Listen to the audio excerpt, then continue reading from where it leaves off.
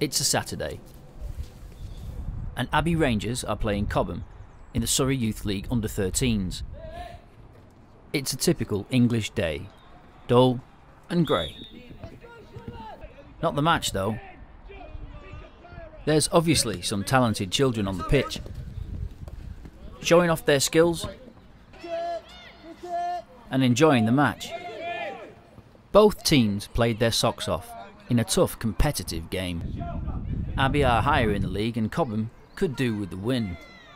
When asked, every player aspired to be a professional footballer. And perhaps more telling, when asked who they'd like to play for, not one named a club outside of the English Premier League. I asked a handful who were willing to come on camera to name their dream 11 team. Their replies were not unique, and at this level and age, I wanted to understand why very few English kids name any English players at all. Why do they think non English players are better than anything homegrown? Hmm. Because they're not as good as the other people. They're not top class players. They're good, but they're not the best. Well, because England don't really perform well, and well, recently, because they're English. Yeah, because and they're not very good. Never won a tournament. Yeah. I, I, I think it's harder to get into a like an international team than it is to get into a club Yeah, definitely. for a different league. Like R- Ronaldo, eh, I wouldn't say well, maybe the generation before him, very very good, like Luis Figo and all.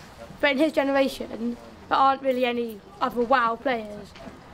I'd argue that England, our team with probably weaker players, will all come together to make a good team. We don't have any like world class players. Why is that? I just think that maybe, and then maybe England coach differently, like just England in general coach differently, maybe not as well as the Spanish.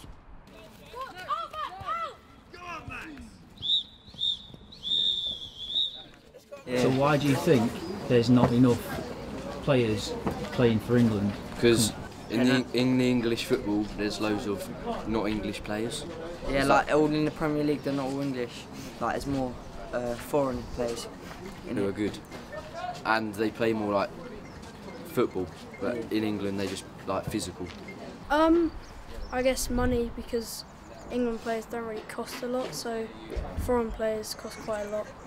So, like Pogba and Ibrahimovic and people like that just rule the Premier League.